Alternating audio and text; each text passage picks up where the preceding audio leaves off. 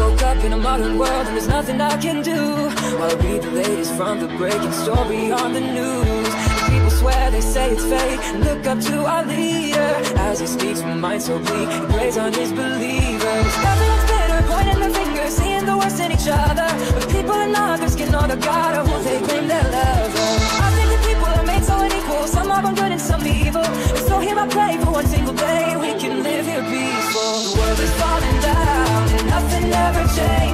One, two, three, and the shots ring out but nothing ever changes. The world is falling down and nothing ever changes. We're all part of a silent nothing ever changes. 12 more killed at a local bar. Some are only 21 The NRA has bills to pay. And feeds us with more guns. So we